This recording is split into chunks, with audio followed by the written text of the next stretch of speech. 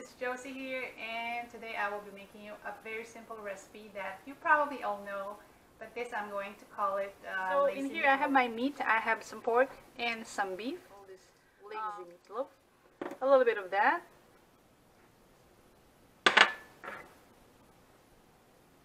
White pepperish. I will write for you the ingredients. You may check it at the website. So to that I'm going to add a little bit of milk. Here we go. Then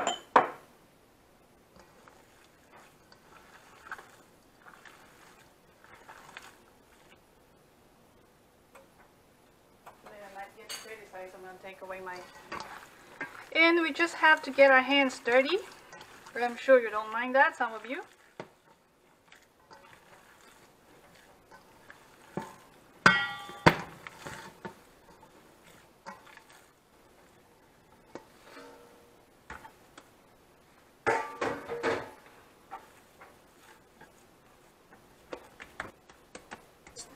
You know, make your normal shape. It doesn't have to be perfect, but we are not cooking this in a normal uh, pan that we usually do.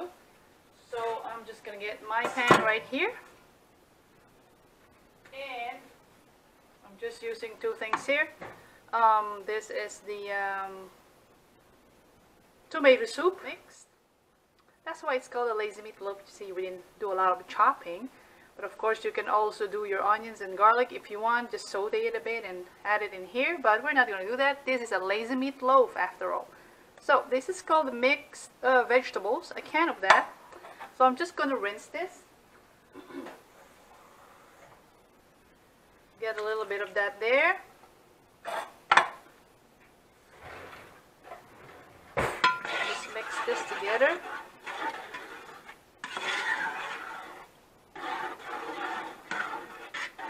A couple of mixture, put it in there, cover it, and let's cook this.